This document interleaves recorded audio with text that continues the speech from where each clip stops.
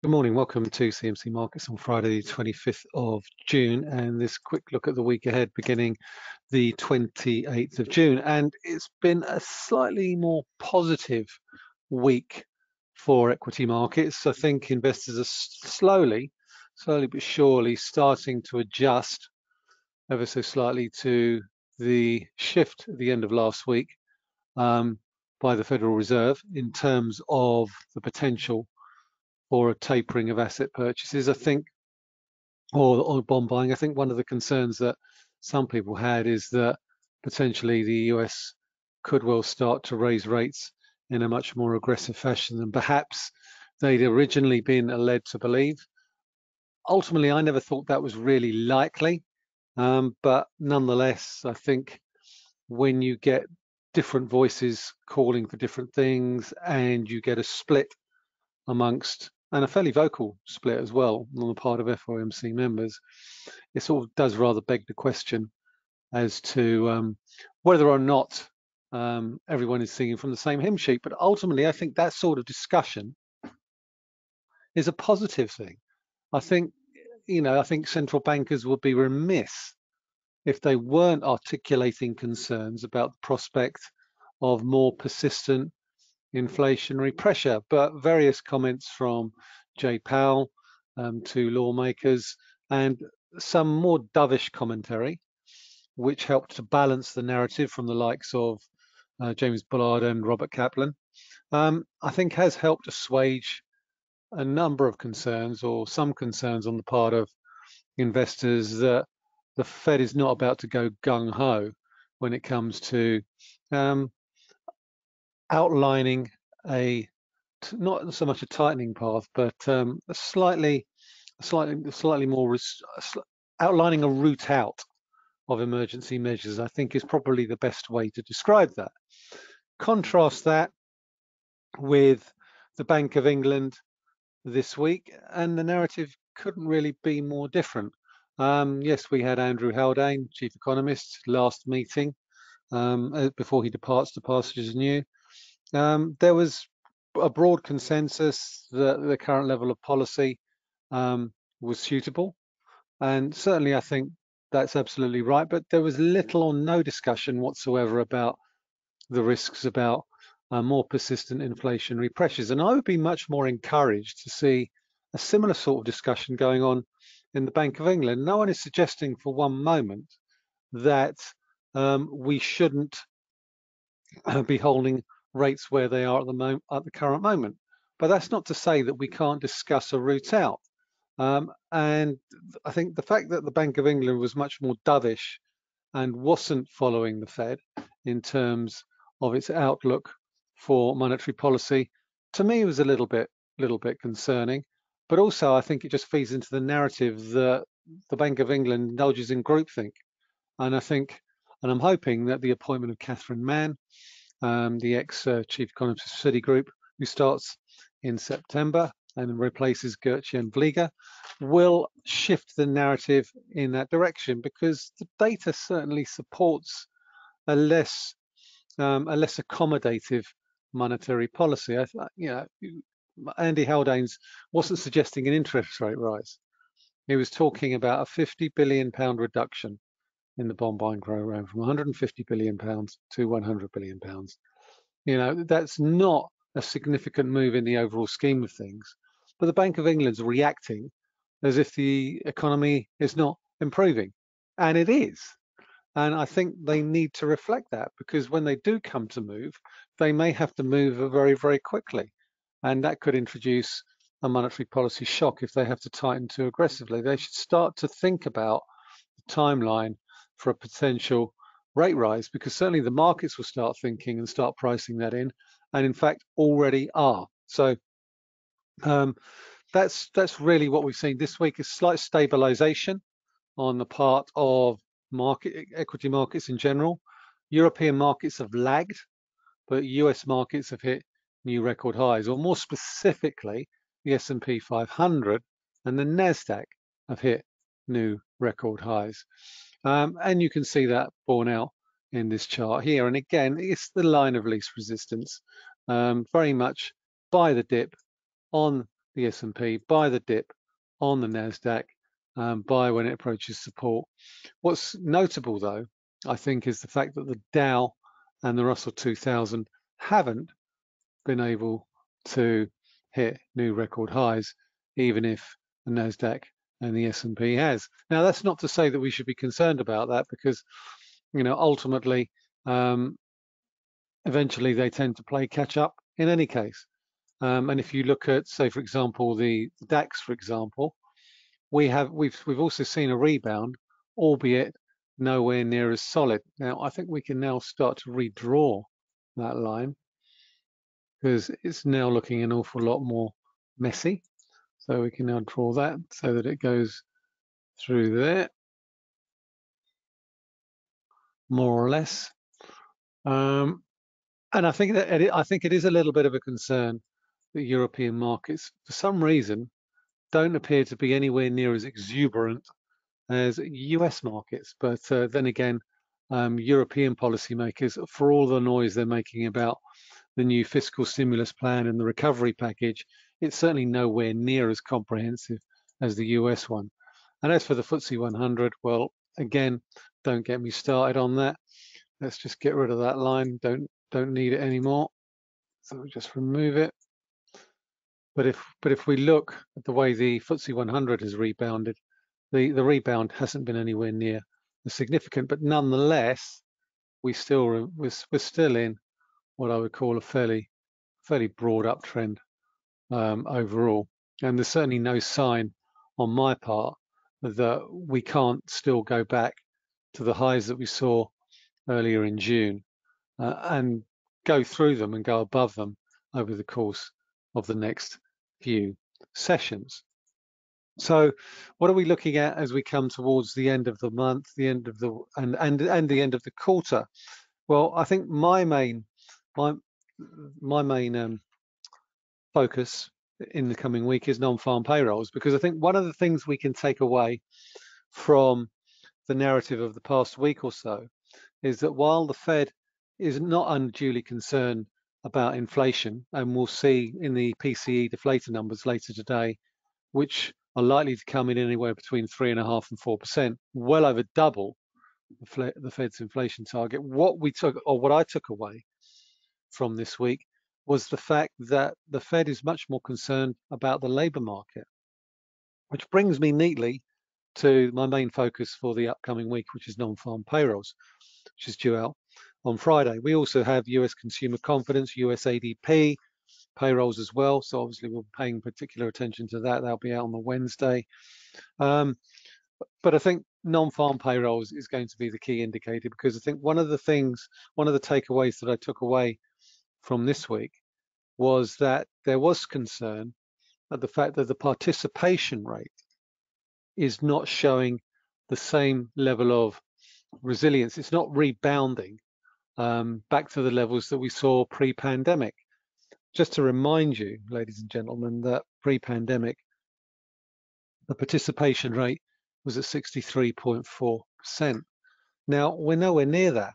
Um, we're still around about 61.6, 61.7%. And I think the Fed is concerned about the impact the pandemic has had on the labor force, whether people have permanently left it, retired early, setting up their own businesses, there is an awful lot of concern about that, but also the fact that compared to the expectations that we had in March of adding a million jobs a month, that expectation has come in quite a bit.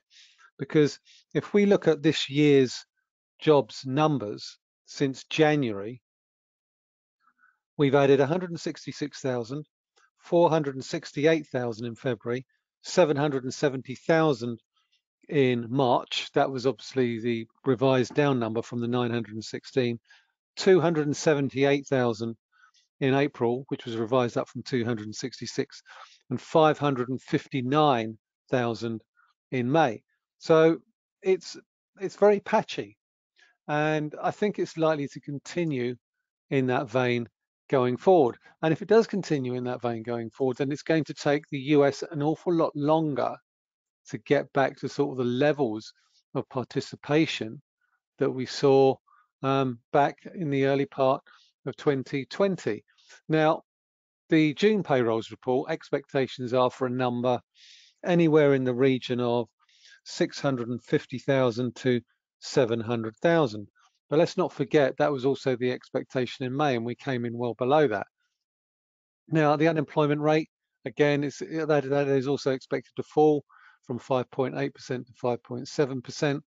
Um, but the labour force participation rate is currently at 61.6. So what does that mean for the dollar? And more importantly, what does it mean for bond yields? Well, certainly US 10-year yields um, have stabilized at around about um, 1.5%. And I think that's probably the sweet spot as far as the Fed is concerned, but when it comes to the overall picture for long-term yields. I think what we need to be paying more attention to um, is US two-year yields.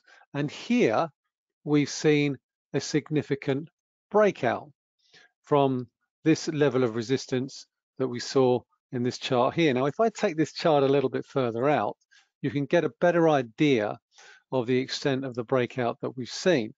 Um, you know, you take that peak there back in June 2020 when it was about 0.22. We're now well above that. So we've broken out of the range that we're in between 0.1 and 0.2%, and we're now back up at 0.27%. Now, you can argue in the scheme of things that's not a big move, but uh, nonetheless, it is still very significant because it marks a breakout of the range that we've been in for over the course of the past 12 months and suggests that US short-term rates are likely to continue to move higher towards long-term rates. So the yield curve's flattening a little bit, and that's a bit of a worry for banks more broadly. But putting that to one side, banks are being supported by a whole new different set of factors, namely the fact the Fed has is set to relax the restrictions on buybacks and dividends at the end of this month. And in their Q2 numbers, which are due out in mid-July, we could see an awful lot of money returned to shareholders. So I don't think bank US bank shares are coming off anytime soon. Anyway, I digress. Basically, what we've seen with respect to the CMC dollar index is it rejected that 200-day moving average. And that's the area that I will pay particular attention to more broadly, because I think the debate now amongst central bankers is not so much about um, how long they can they can keep monetary policy loose. It's basically how long will it be before some central banks start to tighten monetary policy. And it could well be that the Bank of England and the Federal Reserve will probably be first to start articulating that um, type of timeline as we head into head towards the end of the third quarter and maybe the beginning of the fourth quarter. Obviously, variance notwithstanding. So that I think that's the big debate going forward.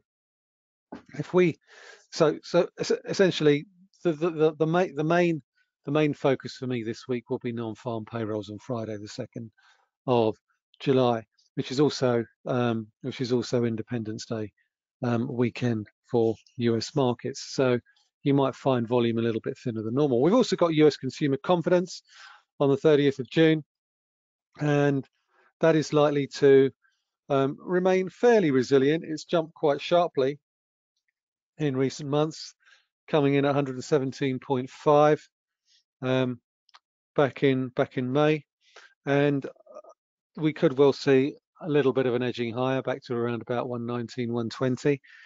But I, I think it's also important to remember that US fuel prices are actually rising quite sharply at the moment, and that could act as a brake on consumer confidence because if it costs you more to drive anywhere, you're going to have less money to spend when you get there. Um, we've also got manufacturing PMIs um, coming coming out from France, Germany, Italy, Spain, the US, the UK, and China. Um, they are still expected to remain reasonably resilient. We've seen the flash PMIs, and they still look fairly strong, even if they have softened a little bit in June. Nonetheless, they still point to a decent recovery in economic activity. Then we'll have the services PMIs the week after. And one notable um, takeaway that I've taken from these um, indicators is input costs. They've been rising quite sharply, and at some point they will need to be passed on to consumers. So that'll be another area that I'll be keeping an eye out for. And then we've also got first quarter GDP, final first quarter GDP from the UK. So let's look at the cable in the round because we're back below 140, which is disappointing. Uh, but nonetheless, we are still in the broader uptrend that we've been in since uh, May last year. So I'm not overly concerned um, by the fact that we've broken down below 140, which is a nice little pivot line all the way through here. Um, keeping an eye on these lows that we saw earlier this week around about 138, 137.90, and then below that you got 136. So we're still in the broad range. I'm still of the opinion that cable's probably got more upside than downside. And this bullish candle here would suggest that if we can get through 140 and the 50-day moving average, we can head back to 142.40. Obviously, if we break below this trend line here, that rather undermines my bullish narrative. But it's ultimately wait for the wait for the price action to tell you what the story is. Don't try and preempt it. And the story is at the moment, cable looks very much a buy the dip type of trade. It's a similar sort of story for euro dollar, though I would be slightly more cautious about buying the dip in that. Yes, we did again see a fairly bullish candle here. We struggled to make gains in the short to medium term, but given the fact that this candle here is a very it's a bullish engulfing candle, that I would suggest that as long as we can hold above 118.70, 119, then we could well see a retest of 120 and potentially 120 and a half over the course of the next um, few days, um, just based on what the price action is telling me. We saw a similar sort of um, reaction take place here, albeit on a slightly delayed basis.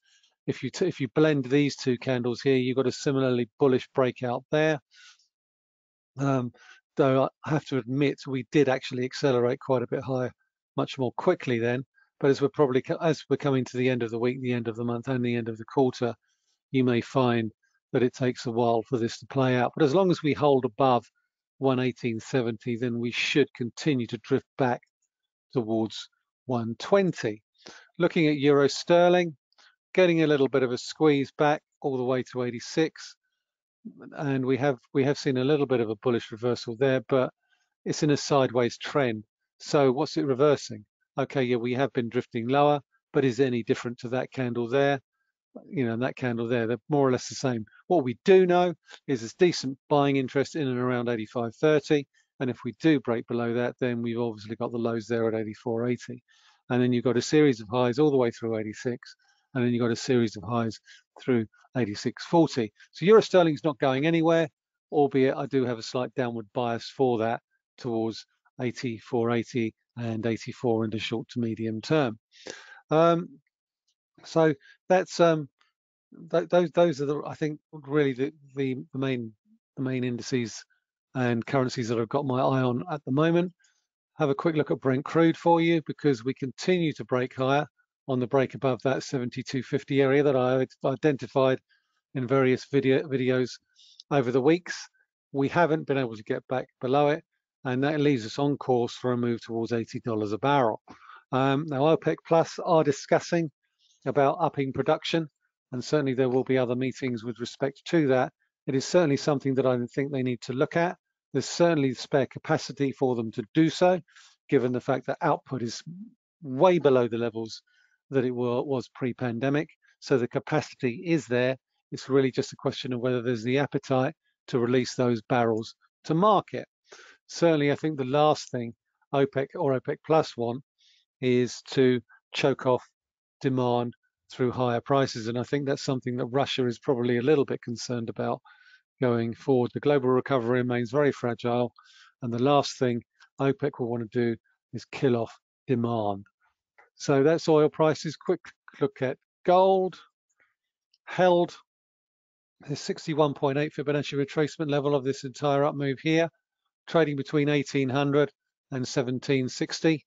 Uh, it's hard to say which way this is going to break. If I was to hazard a guess, given the way the price action is trading at the moment, we could well trade back towards the 50-day and the 200-day moving average. But at the moment, gold's gold looks a little bit on the soft side. what other things am I paying attention to this week? Well, there's a couple of things. We've got earnings out from the likes of Associated British Foods, which owns the Primark um, chain of clothes shops. We've got Dixons, Dixons Carphone, which is going to be rebranded to Currys um, before by the end of the year. And then we've got a, a meme stock, um, or what has become a meme stock, Bed Bath and Beyond. Let's just have a quick look at Associated British Foods because UK retail should be doing an awful lot better than it actually is, given that restrictions have continued to be eased and are likely to be eased further over the course of the next few weeks. And I think one of the things that we can, I'll be looking for with respect to Associated British Foods latest numbers is a big rebound in consumer spending at Primark. We saw the company announce huge losses in that division, despite the fact that grocery, sugar, ingredients, and agriculture all saw higher revenues. The hope is that um, clothes retail will see a really big bounce back in terms of pent up demand when they release their third quarter numbers on the 1st of July. So keep an eye on that 200 day moving average and a series of lows through there. We could well see a decent upward surprise on those numbers. Dixons Carphone, electronics, PC World, and what have you. Well, look at that. That's a nice little uptrend currently playing out. So I think the bar is probably pretty low. And one of the things that I have noticed with respect to Dixons Carphone, you can read about it um, on the news and analysis section of the website, which is here, right there under Insights. That's where all the commentary goes. Um, and will be posted there um, on Friday evening, Friday afternoon. We've found support with the 200-day moving average. We've got trend line support coming in through here. It, you know, the stars appear to be lining up as long as we don't break below here for a fairly decent rebound in the soon-to-be Currys PLC. Um, finishing off with Bed Bath and Beyond, that's joined the meme stock. Um, it's joined the meme stock category only recently. And earlier this month, Bank of America, along with a number of other brokers, withdrew its rating on Bed Bath and Beyond, making the admission it was no longer trading in line with its fundamentals. Well, who knew? I can think of a number of candidates that could fit that description, Tesla and Uber being obvious examples, obviously GameStop, AMC Entertainment, and what have you. Nonetheless, they're reporting their first quarter numbers on the 30th of June. So um, sign up for the non-farm payrolls webinar on the 2nd of July. You can find that in the education section of the website. Otherwise, I'd like to thank you very much for listening. Uh, this is Michael Hewson talking to you from CMC Markets and have a great weekend.